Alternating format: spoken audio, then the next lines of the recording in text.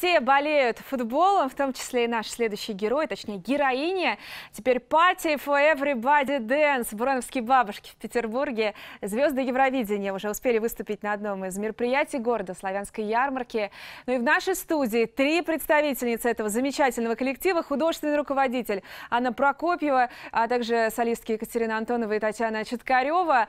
И вот сейчас э, я очень рада, конечно, вас приветствовать. Ну что ж, Петербург, точнее, по погода в Петербурге, довольно прохладный прием вам устроила, довольно холодно и ветрено. Гостеприимство жителей нашего города как-то компенсировало погоду, расскажите? Безусловно, потому что э, мы даже не почувствовали эту погоду, настолько горячий, теплый прием был, э, энергетический обмен между зрителем и нами, исполнителями, и поэтому вот, э, казусы погоды мы не почувствовали. Но я вижу, что вы не только с гармонией, но и с мячом футбольным. Сегодня матч а, сборной России а, и Англии. Я знаю, что вы записали э, какую-то поддержку а, нашей команде. Можете сейчас воспроизвести? Э, да, конечно, у нас ведь в 11 городах будет э, проходить чемпионат мира, и поэтому мы вот уже в третьем городе работаем э, со своей программой, посвященной чемпионату мира по футболу. Это Москва, Санкт-Петербург. И вот перед Санкт-Петербургом у нас был концерт в Самаре, и мы там видеоклип записали с обращением вот к ребятам. Пожалуйста, Екатерина, начни. Замечательная наша сборная. Леонид Викторович и ребята – мы вас приветствуем в Санкт-Петербурге. Желаем вам только удачных матчей, скорой, красивой и результативной игры. Мы будем болеть за вас со всей России, переживать и поддерживать вас. Ну и кидали там мяч. Тут, наверное, нельзя. Куда без мяча, конечно. Если есть ружье, оно должно выстрелить. Но сегодня вернемся пока к чемпионату а, Европы. А сегодня матч, как я уже сказала, между сборной России и Англии. Сами будете этим вечером болеть в 10 часов? Можно ли будет вас увидеть в спортклубах э, Петербурга? Может быть, не сначала, но, но потом будем болеть, потому что у нас 8 часов выступления. И угу. после выступления, да, наверное. Кричалки есть у вас какие-то задорные, убойные? Вы знаете, я еще так, та болельщица.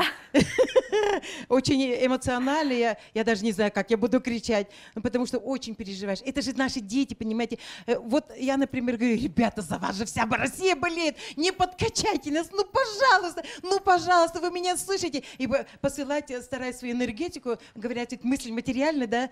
И вот настолько болеет вообще, иногда даже плохо со мной становится. Я иду на кухню, чай пью. Ну, скажите, когда вы вот так активно болеете за наших футболистов, выигрывают? Какие перспективы? Букмекеры сегодня ставят на то, что все-таки возьмет верх Англия, а э, не сборная Россия. О, Господи, Переубедим? боже упаси. Боже упаси. И ребята наши должны не подкачать нас. Вы что? Мы за них очень-очень болеем.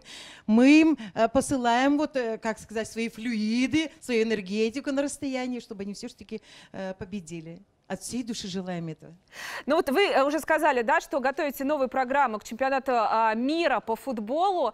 Исполните сейчас одну из композиций, вот совсем новенькую. Да, э, эта композиция называется «Мне снова 18», и наша новая программа, посвященная вот как раз э, чемпионату мира по футболу, называется «Мне снова 18». Катюшенька.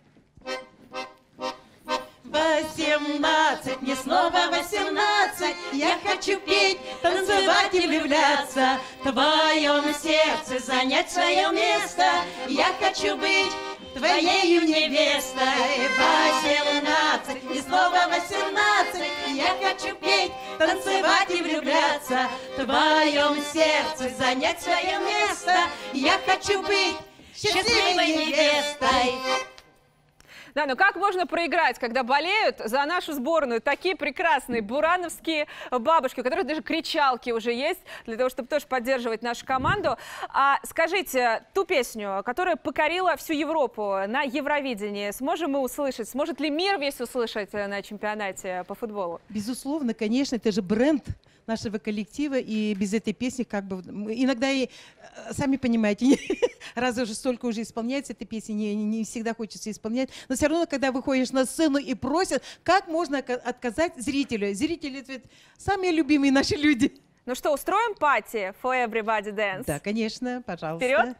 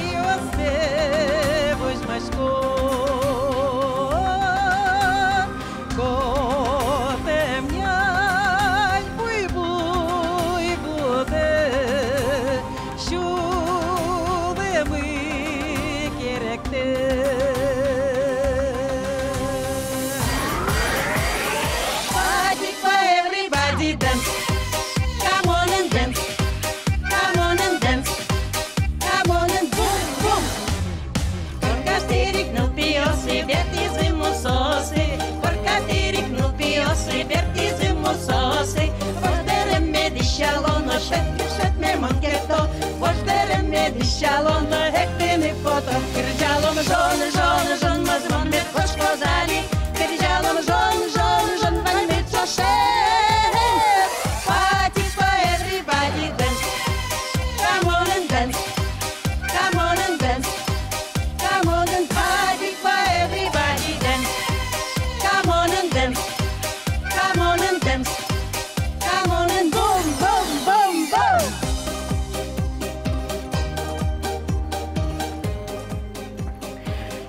Говорите, а, ск- скажите, пожалуйста, сегодня вечером где устроите вечеринку? Где будете выступать? Ну, можно в одной из услышать. гостиниц Санкт-Петербурга, где мы остановились. Там у нас и выступление будет сегодня, и э, будем э, болеть у телевизора. Как публика принимает? Отлично. Автограф-сессии даете? И сколько Ой, времени длится у еще вас бы, этот конечно. процесс? Нас, знаете, радует, ну, вроде мы все же таки бабушки, хоть мы и поем 18 лет нам, да, очень радует, как нас встречают молодые люди. Когда молодые парни нас обнимают, целуют, нам тут же действительно 18 лет исполняется. А что, много таких Очень молодых приятно. парней, которые Ой, обнимают конечно, конечно. Ну что ж, спасибо вам большое, спасибо, что вы пришли в нашу студию Live 78. Надеюсь, что погода тоже не подкачает. И сколько вы еще времени проведете в Петербурге? Мы завтра рано утром уезжаем, и 12 июня э, нас могут смотреть на Красной площади. Мы будем петь с Николаем Басковым. Ну и будем надеяться, конечно, что сегодня вечером в 10 часов а, наши футболисты, наша сборная России выступит не хуже, чем бурановские бабушки. Я думаю, что можете поискать, все будет сегодня в спортклубах Петербурга. А, болеть будут а, они, думаю, что вы их даже услышите. Напомню, а, в студии Live 78 были художественный руководитель коллектива «Бурановские бабушки» Анна а, Прокопьева, а также солистки Екатерина Антонова и Татьяна Читкарева.